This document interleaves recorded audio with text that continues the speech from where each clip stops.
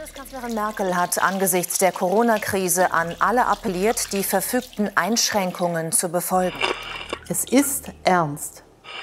Corona beherrscht endgültig unser öffentliches Leben. Nur noch Corona. Das Thema Corona ist allgegenwärtig.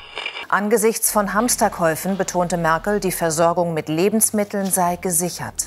Das Coronavirus verbreitet sich in Deutschland immer schneller. Jeden Tag werden jetzt neue Corona-Fälle in Deutschland. Kindergärten, Schulen und Universitäten wurden geschlossen. Maßnahmen wie zum Beispiel flächendeckende Restaurants. Gründlich und oft die Hände waschen. Das öffentliche Leben eingeschränkt.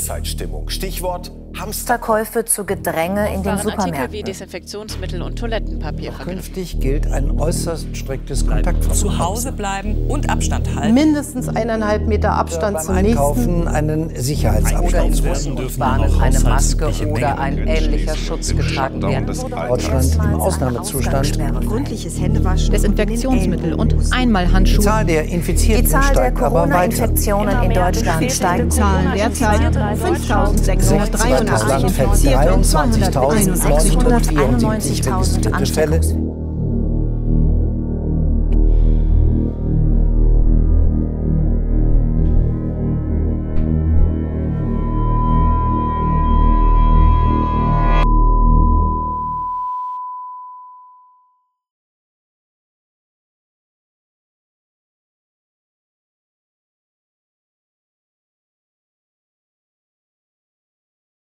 Und jeder ist im